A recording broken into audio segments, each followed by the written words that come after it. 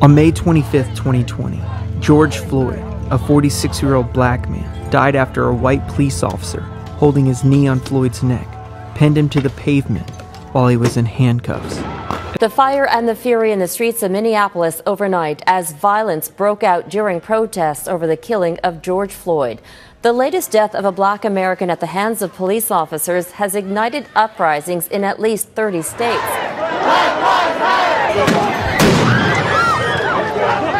Hours later, from the Rose Garden, the president's message was just as stern. If a city or state refuses to take the actions that are necessary to defend the life and property of their residents, then I will deploy the United States military and quickly solve the problem for them. During that message, military style vehicles filled with National Guard troops were seen arriving outside the White House ahead of the city's nighttime curfew. Hey guys, welcome back to our channel. So as you guys can tell from the aura, the energy we are giving from this video, it's not usually how we always open up our videos with excitement, we're always hyping our videos because of what's going on in the world right now. There's so much chaos, violence, injustice, and we wanted to talk to you guys about what is going on and just educate you guys even more and also just give you guys our thoughts, our feelings, our opinion of what's going on because it's super important that we continue this movement and just continue sharing our opinions and thoughts about what is going on in the world right now in our nation in DC. As you guys may know, George Floyd has passed away on May 25th, 2020, and his life was taken away from a police officer.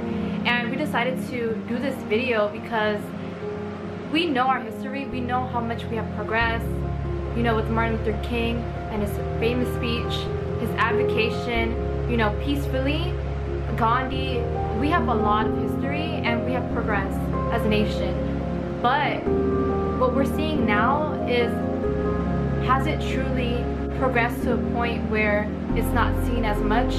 And the answer to that sadly is we still see it. We see it every day, a lot, and we are now seeing it more visually on social media. And I think that's the most scary part because a lot of people have social media. So we have all these different age groups that have been exposed to this video of George Floyd's passing and the incident. We have seen so many protests in DC and it has turned to violence.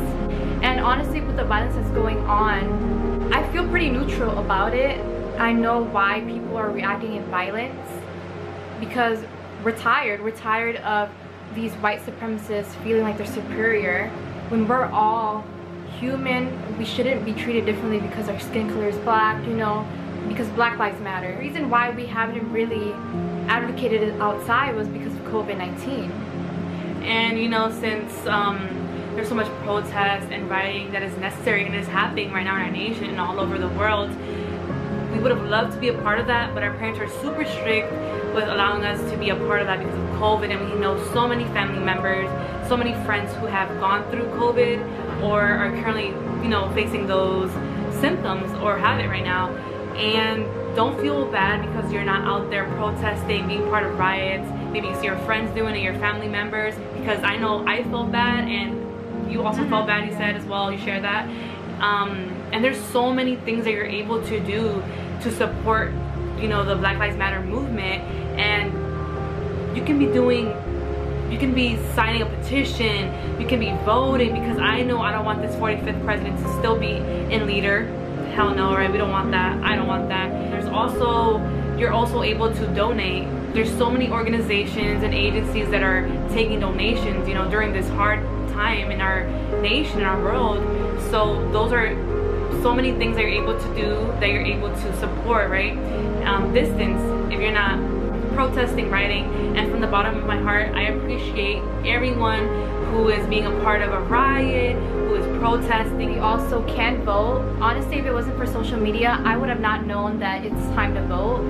Um, and it's crazy because everything that we're going through with COVID-19 and protesting and it going violently and it going peacefully is, is just crazy to me and the, the fact that our president hasn't really put in action to all of this it hurts me and the fact that I didn't know that it was that it was time to vote is really crazy because I'm always on top of the voting thing. Even when I couldn't vote, I knew what day it was. And today, yesterday, I did not know. Really important to vote and whether or not you're voting for the president, always know that it's important to vote for the senators or anybody below that title because they put in action and they can use that power in their advantage, good or bad. So you really got to be careful and mindful about that. Yeah. With the violence that's going on right now, with the protests, we feel pretty neutral. I feel pretty neutral about it because I get why there is violence. I mean, with the Boston Tea Act, there was violence. What was wanted was gotten. I think that is what we're trying to portray now in 2020 with these protests. I'm a Gandhi type of person. I like the protest peacefully, but it is being violently right now in DC and we see it in the news. I'm here pretty neutral about it if you were to ask me. I am pretty neutral with violence and to some extent, right? Um, like violence is needed and chaos is needed to provide new structure and new laws especially to the ones that are impacted the most. And we know our black brothers and sisters are impacted, have been impacted for a very long time. And we need to come in with violence and with chaos because we need to bring a new structure. And we have to show leaders, the world, what is going on. And we're coming in with violence because, to be honest, if we don't show some type of violence, we're not going to be heard. And they're not gonna do nothing. And hopefully with what is going on right now protesting rioting something something becomes positive about what we're doing right? If you guys um, saw on twitter or even social like all over social media that the 45th president i don't call him from his first or last name um, he actually was hiding in the white house with all the lights off. And that just shows us that the commander-in-chief the leader the one that's on top he is actually so terrified hiding like a snail in a shell, right? I know a lot of people have been saying all lives matter and we're aware that all lives do truly matter. And that is however, of course. Yeah, but however, right now we are focusing on Black Lives Matter movement, the movement itself, because black people, African American, are more likely to experience police brutality. So with that all lives matter, we're not really saying we're not for it. We're just saying at this moment, we're focusing on Black Lives Matter. You know, our black sisters and brothers are always experiencing discrimination, you know, all that. Even when they go into a store, who are who are the ones that are most likely to be appointed, right, or to be followed in a store? Our black sisters and brothers, and it's just crazy. We have, I've had enough of that. Like that is that irritates me to be honest with you guys because someone should be allowed to have fun while they're shopping you know? Not being like not being followed. Like no that needs to stop as well.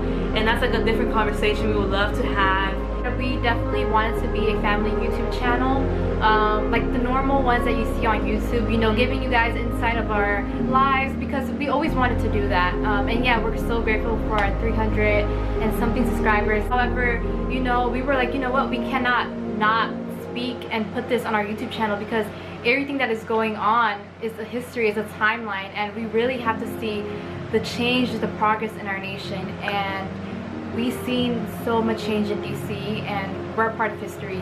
And it's, it's really crazy because, you know, we had our older generations telling us about their own history and that they faced it. And you know what? I didn't think that we were going to be a part of history. And what I mean by this type of history, it, it repeating itself. Yeah. In a way that I read upon it on books. And it's literally just repeating itself. So we're part of history and we're here to promote and educate and inform many people that aren't well aware of what's going on, especially in DC. Here to say that we're in it together. The best thing we can actually do is just become stronger, continue educating people, continue protesting, rioting, be that because that is gonna show is gonna make our message stronger and just show leaders, show the world what we really are about and what we want to um, conquer with what we're doing right Thank you guys for tuning in. There comes a time where silence is betrayal. And I definitely do agree in that. Whether it is a post, whether you're sharing something, sharing a video to somebody else, silence is not going to take us anywhere. We have to speak up. And also guys, don't forget that we also want to hear your thoughts, what you're feeling during what's going on in the world right now. And you know, share, even if it doesn't mean like, even if you don't have a YouTube channel, post on your Instagram stories, on your Snapchat. I know you guys have a lot of followers or have some followers that would appreciate just hearing you out. Our family to your family with lots of love. We are the Blanco family.